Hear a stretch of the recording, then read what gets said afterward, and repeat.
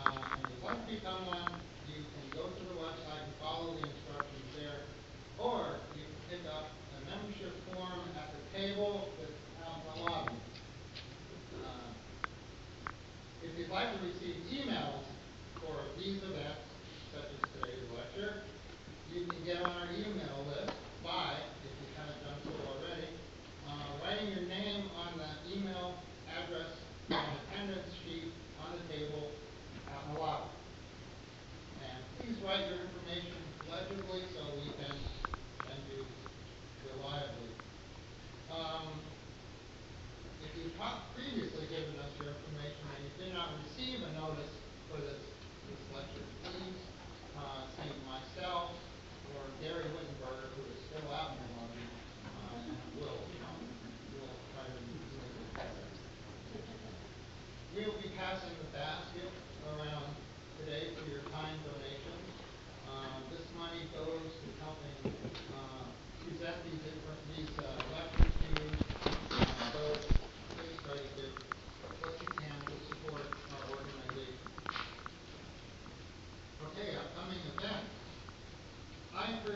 to uh, these lectures and advance, events uh, to show your support for CFI Tallahassee. Becoming a member is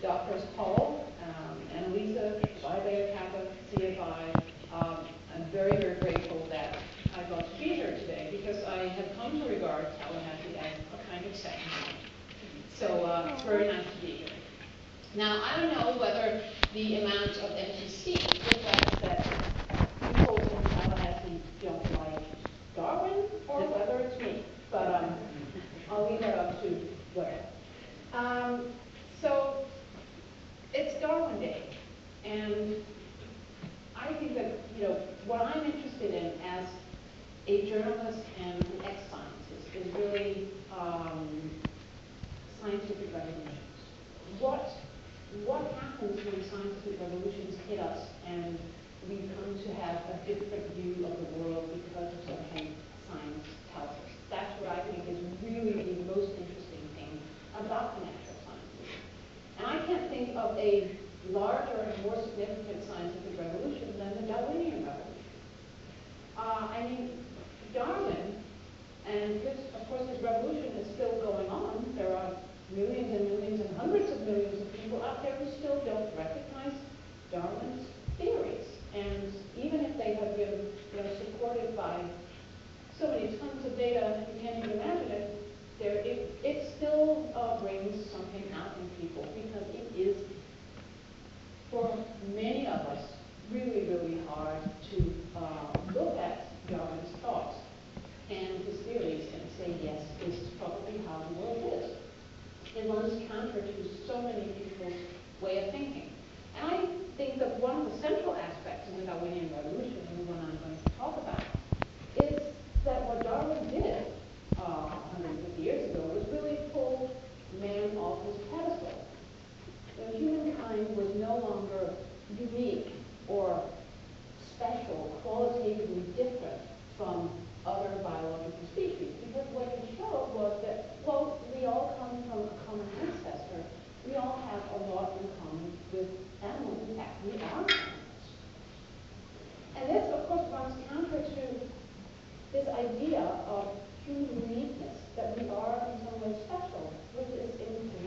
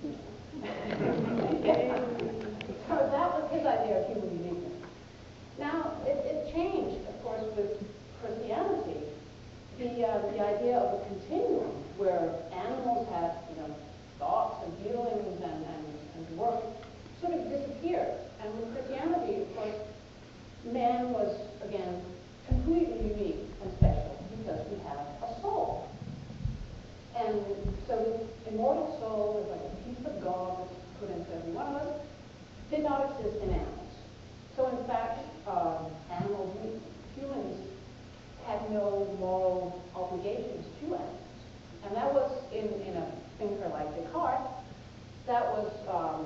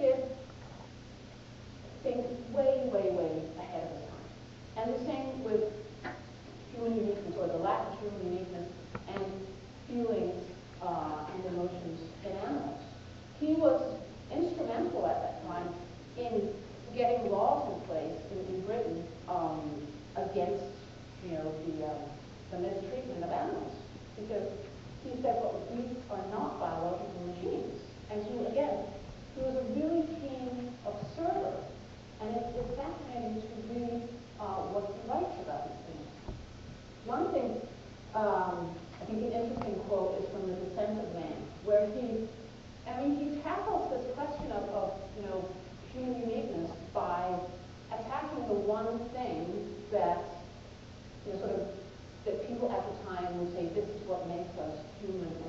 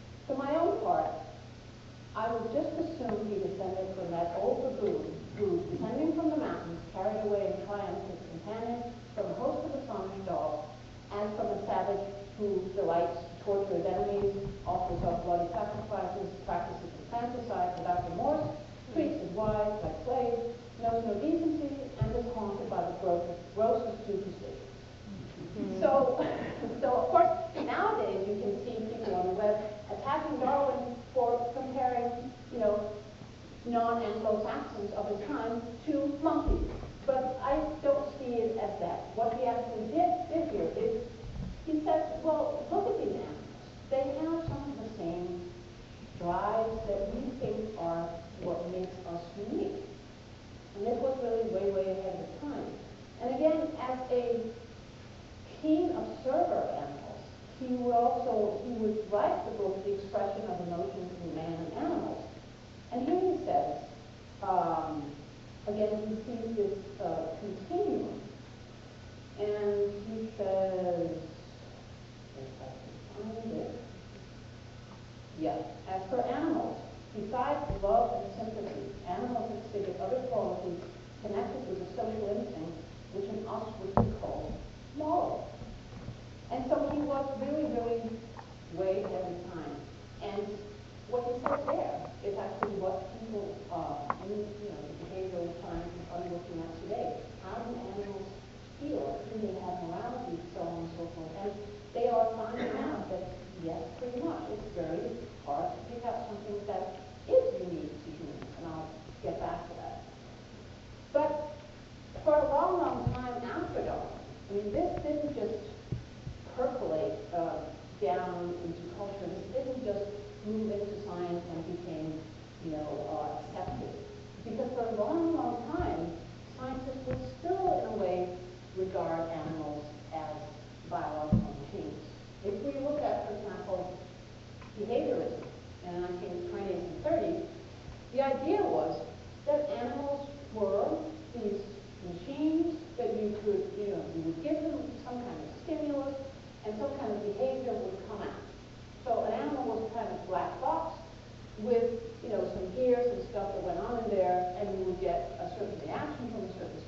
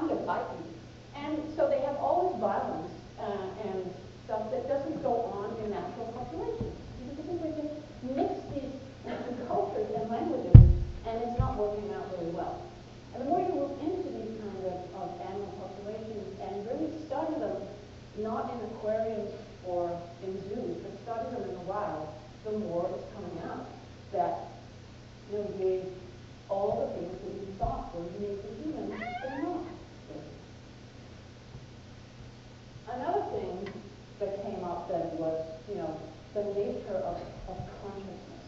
So are animals conscious? That's been discussed for a long time. And if they are, what kind of consciousness?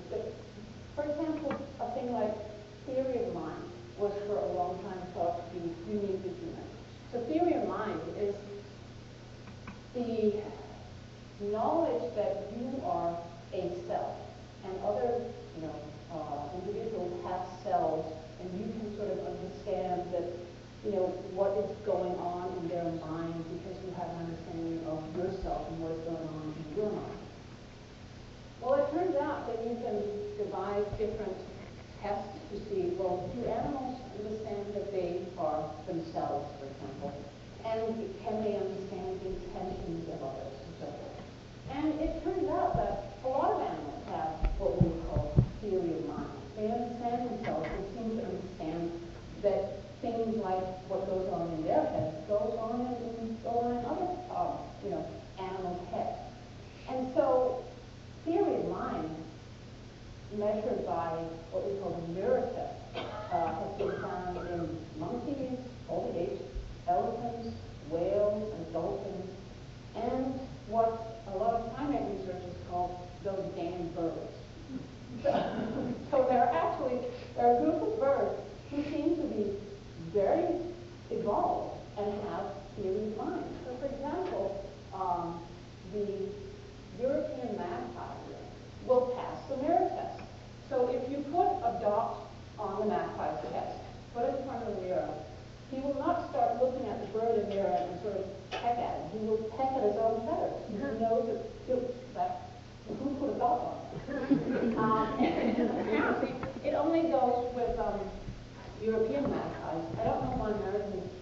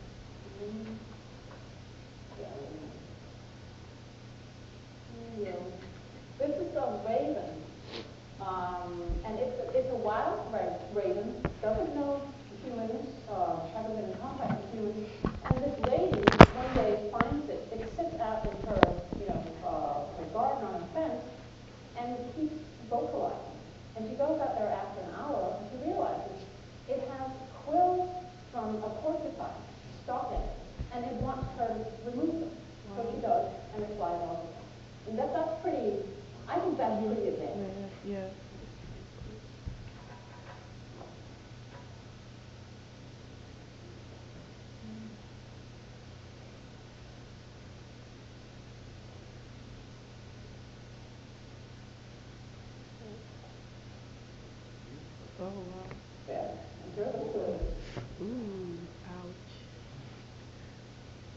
happens,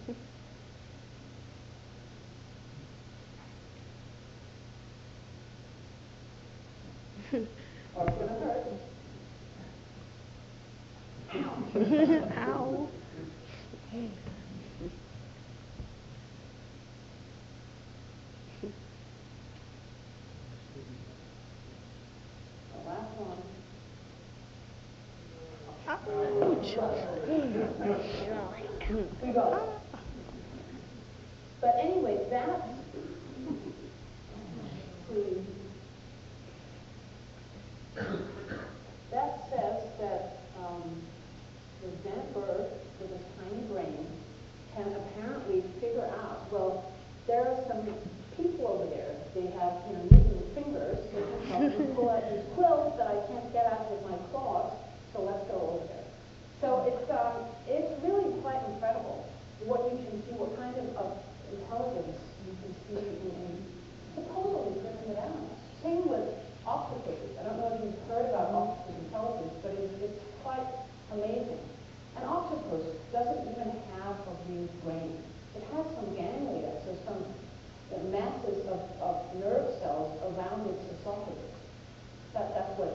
that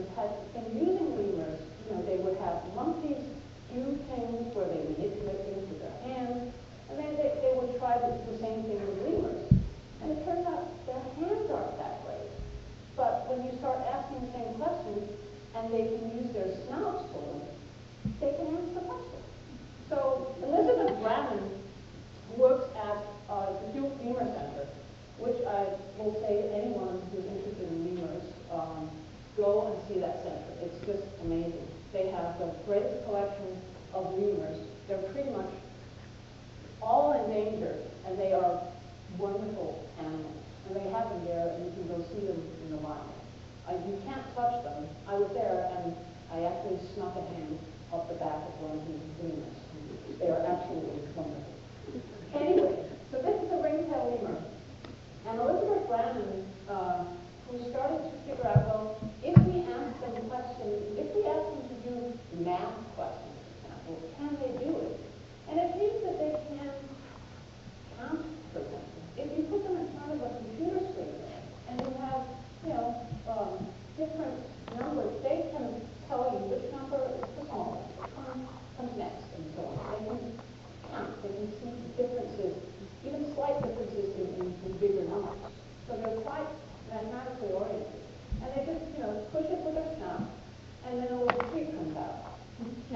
thought, okay, they will use the trees.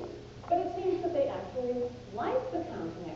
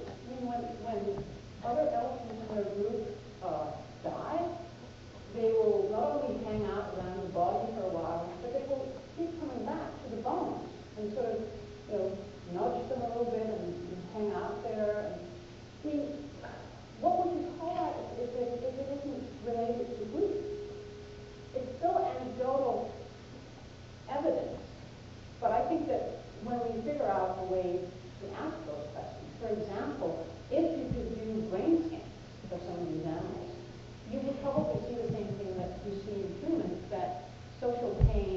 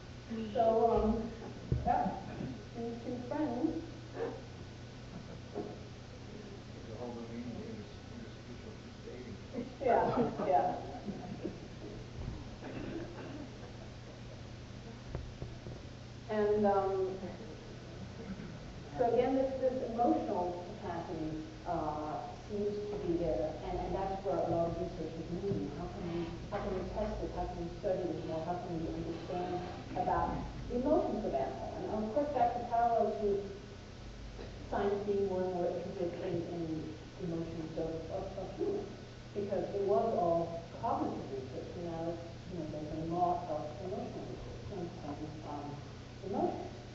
Um, now, another thing uh, that's interesting when we talk about emotions is that, you know, one other notion of human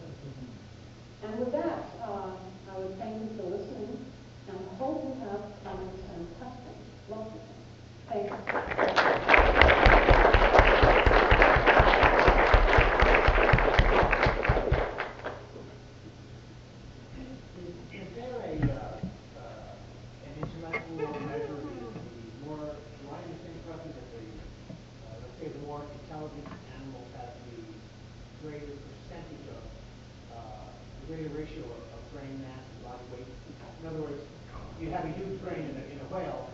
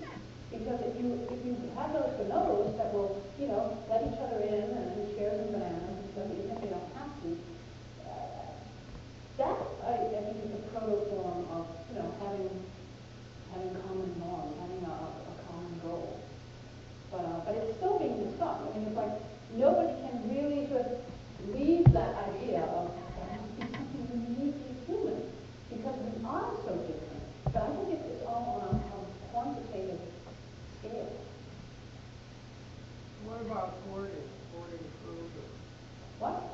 hoarding food, like prepared for the future? Right, that happens in, in, in several, uh, kinds of animals, like you have mice and other species who will hoard food, who will remember exactly where, where they put it, and who will seem to plan ahead. Again, the, um, the magpies and the, the crow family of birds seem to be really at imagining something in the future and planning for it. And apes seem to be able to plan ahead as well. Don't, don't squirrels do that? The squirrels Yeah, save nuts yeah. for the winter. A lot of rodents who, yeah, will hoard food Right. and and put it somewhere, and you're really good at remembering where it is. Now, my question, Yeah. Oh, no. Oh, yeah. Defend the American magpie. Okay. Today, actually, food day, not only use this food, it's a fashion food, Right, make food. right. So that takes care of the Zen one. But, but he, it was the mirror test. He's not intelligent enough for the mirror Yes, test. I think he is. I think the way. Well- But at any rate, I'm don't gonna, check it, I'm defend you. Okay. Well, I think we are unique, but only in the sense that every species is unique. What's so great about that? Cats are unique, every species is unique. That's what. I think- Sure. I think the whole, the whole, I I think it's just sort of going the wrong way. We'll continue with, with vanity, which is what it is, this, this, uh, sort of, uh, you know, pride, that we're still on the pedestal somehow. Yeah. Hey, we'll still find a way to on top. He- He's pointing out, Darwin said it was wrong it. Yeah, it is a continuum. And, but, but I, yeah, I, I'm, I'm sure you're right, but there is, there is still this feeling that, you know, we are in some ways better and smarter than, you know, anything else out there. Yeah, but maybe we're too smart for our own good, you. Uh, but, but I think the, the, the best that can come out of all this kind of research is that we start thinking about ourselves as part of this continuum. And that we can't just other beings, you know, like in Christianity, oh, we have dominion over them, you know, do whatever. So it is a challenge to our moral sense. Where do you see the evolutionary trajectory going long-term for humanity and for animals? That's the thing you can't predict. But it, it really is a hugely interesting question, especially for humanity. I mean, for a lot of animals, the traje- trajectory is going straight into, you know, annihilation. Extinction, yes. We are in the sixth big mass extinction period now, and it's probably the biggest mass extinction the world has ever seen, um, because so many species are being wiped out, you know, because of how the world is set up and because of our actions. But our own evolution, nobody has a, a good, even a good guess. I was talking to, um, uh, Richard Dawkins about this, asking the question, and he was just completely blank. He wouldn't even go into the discussion, because it has to do with understanding where the evolutionary pressures are. If you can point to evolutionary pressures and have some kind of way of seeing, so